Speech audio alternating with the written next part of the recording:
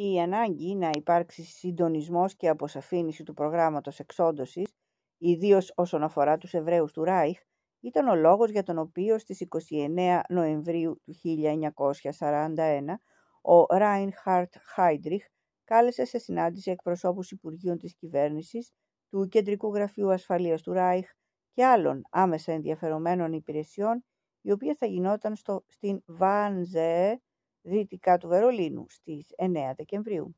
Η συνάντηση αναβλήθηκε σχεδόν σίγουρα λόγω της Ιαπωνικής επίθεσης στο Pearl Harbor στις 7 Δεκεμβρίου και της σημαντικής αντεπίθεσης του Κόκκινου Στρατού δύο ημέρες νωρίτερα, η οποία αναπόφευκτα επηρέασε τα σχέδια του Χάιντριχ για τις μαζικές εκτοπίσεις Εβραίων.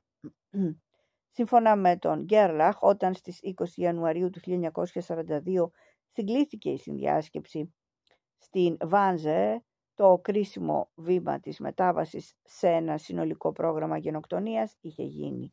Ο Χίτλερ είχε ήδη λάβει την βασική απόφασή του για την εξόντωση όλων των Εβραίων της Ευρώπης.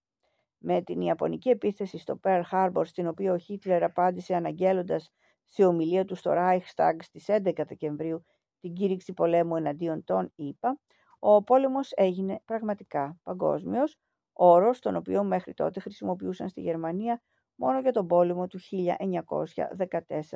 1914-18.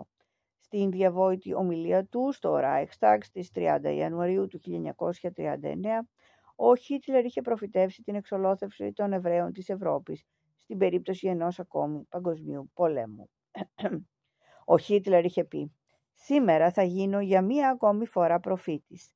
Αν οι διεθνείς Εβραίοι χρηματιστές στην Ευρώπη και έξω από την Ευρώπη καταφέρουν να βυθίσουν για μία ακόμη φορά τα έθνη σε έναν παγκόσμιο πόλεμο, τότε το αποτέλεσμα δεν θα είναι η μπολσεβικοποίηση της γης και επομένως η νίκη των Εβραίων, αλλά η εξαφάνιση της εβραϊκής φυλής από την Ευρώπη.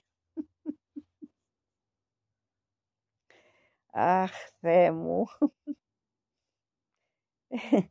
Τι μας περιμένει, ε.